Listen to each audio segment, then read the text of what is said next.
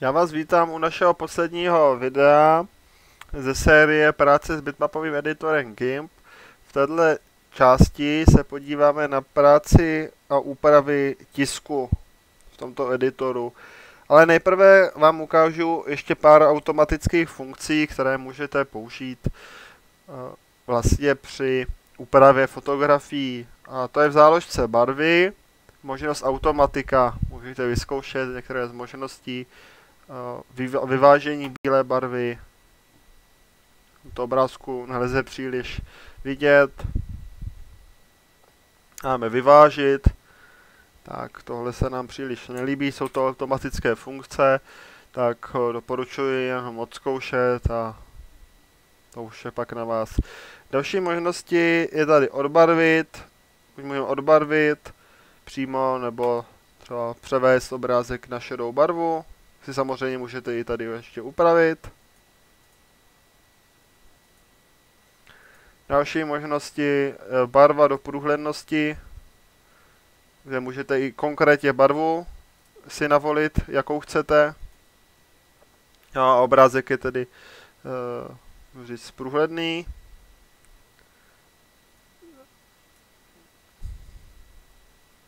Jo, nyní je to nastaveno na bílou barvu.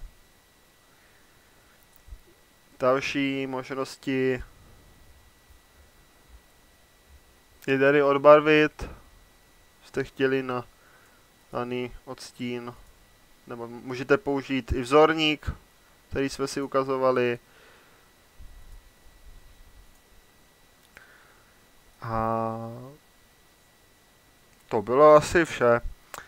A nej, teď se podíváme na práci s tiskem. Tak v případě, e, že chceme tisknout, tam tisk, tak e, zde máme vedle záložky, která se týká tiskáren, nalezneme i nastavení obrázku, kde si ručně můžeme upravit, upravit hodnoty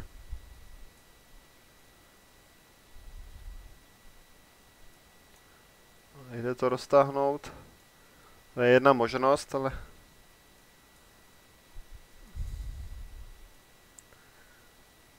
Nemůžeme se k ní dostat. Ale tady by se akorát dali tisk.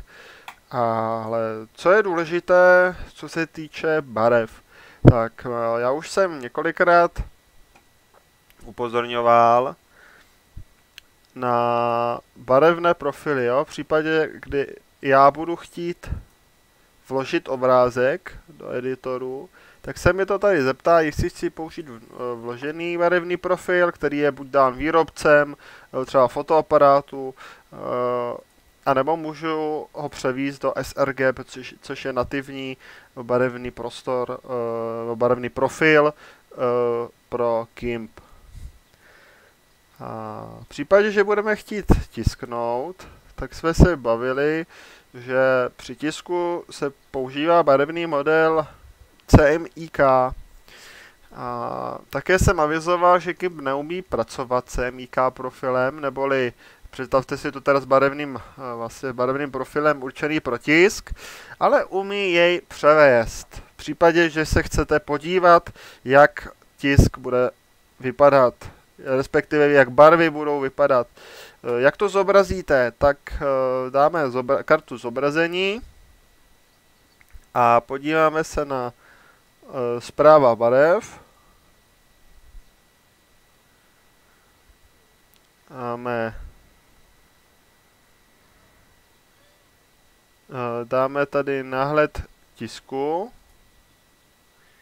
Já už tady ale mám, ještě jednou se dáme zpráva barev tady. Jo, dáte náhled tiskového typu a teď je důležité dát profil náhledu tiskového výstupu. A vy si tady vyberete jakýkoliv uh, barevný profil CMYK.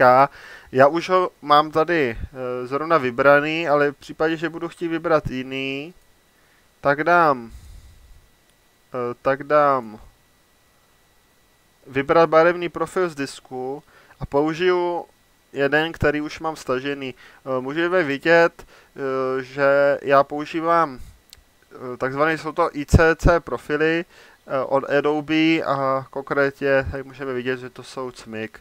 Takže to jsou vlastně barvy, nebo můžeme si přejít obrázek, aby se viděli, jak bude vytisknut.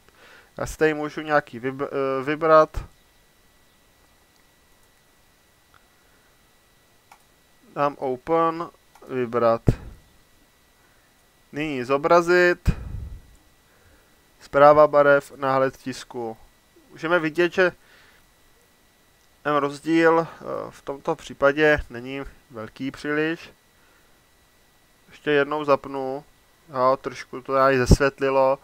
Tak takhle to bude vypadat, když bude obrázek e, vytištěný.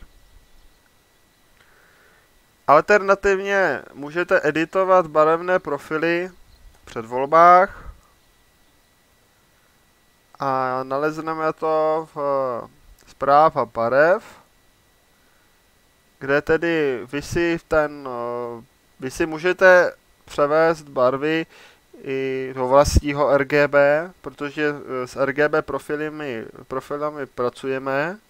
Opět zase můžeme dát vybrat. No, v tomto případě by se volili, volili RGB profily, Vybrali si třeba palesekam. Tady máme ty cmik, jenomže eh, je to zde trošku zavádějící, eh, nemůžete v něm pracovat to cviku, můžete ho pouze zobrazit, jak to v tom profilu bude eh, vypadat, když to budete tiskout, ale pracovat s, s tím profilem, to znamená upravovat barvy, odstíny nelze.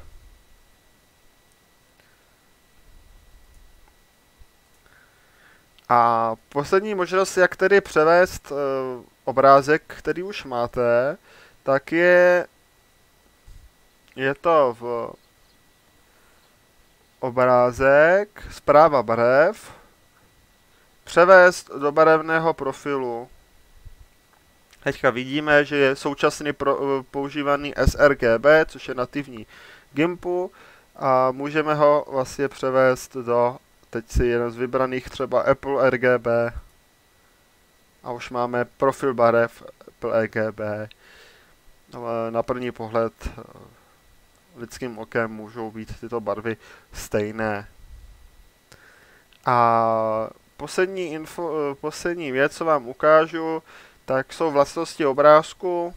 Můžeme vidět vlastnosti obrázku jako takové a color profil ze které můžeme tady vidět, jaký máme konkrétní, uh, konkrétní